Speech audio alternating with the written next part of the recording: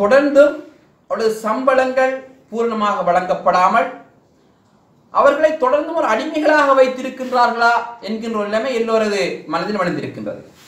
கடந்த காலங்களில் அவர்களுக்கான பூர்ணமான சம்பளங்கள் வழங்கப்படும் வழங்கப்படும் என்று வாக்குறுதிகள் வழங்கப்பட்டதை தவிர உண்மையில் அவர்களுக்கு தேவையான அடிப்படை சம்பளங்கள் பூரணமாக வழங்கப்படவில்லை.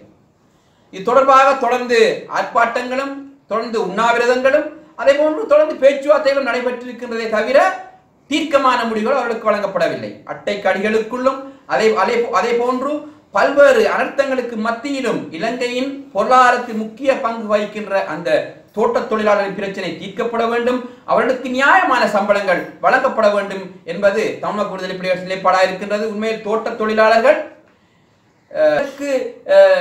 இணைந்த தமிழம் தொடர்பாக ஆயிரத்தி தொள்ளாயிரத்தி எழுபத்தி ஆறாம் ஆண்டு வட்டுக்கோட்டை தீர்மானத்தின் அடிப்படையில் வடக்கு கிழக்கில் இருக்கின்ற இளைஞர்கள் உசுப்பேற்றப்பட்டு ஆயுதங்கள் ஏந்தப்பட்டது வடகிழக்கில் தமிழிடம் கிடைக்கும் என்கின்ற ஒரு தலைவர்களின் அல்லது வழிகாட்டின் அடிப்படையில். ஆனால் அந்த வழிகாட்டின் அடிப்படையில் மலையகத்தில் இருக்கிற இளைஞர்கள் போராடி இருந்தார்கள். அவ இந்த மலையகத்தில் இருக்கின்ற மக்களின் சம்பளங்கள் ஒடுக்கப்படுகின்ற வேளையில் அவர்களின் குரல் வலைகள் நசுக்கப்படுகின்ற வேளையில் தெற்கு கிழக்கில் இருக்கின்ற தமிழ் தலைமைகள் போதிய அளவான அவர்களுக்கான பக்கத்துணையாக உறுதுணையாக நிற்கின்றார்கள் என்றால் அது கேள்விக்குறியாக இருக்கின்றது.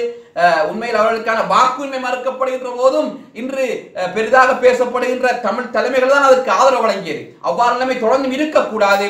தொடர்ந்தும் மலையகத்தில் இருக்கின்ற தோட்ட தொழிலாளர்களின் சம்பளத்தில் நியாயமான சம்பள கொடுப்பனவிற்காக வடக்கு கிழக்கில் இருக்கின்ற தலைமைகள் சிறுபான்மை தலைமைகளும் குரல் கொடுக்க வேண்டும். அதே போன்று தமிழக விடுதலை புலிகட்சியின் நிலைப்பாடுகளுக்கு நியாயமான சம்பளங்கள் பேச்சுவார்த்தை மூலம் தீர்க்கப்பட்டு வழங்கப்பட வேண்டும் என்பதுதான் எங்கள் நிலைப்பாடாக இருக்கிறது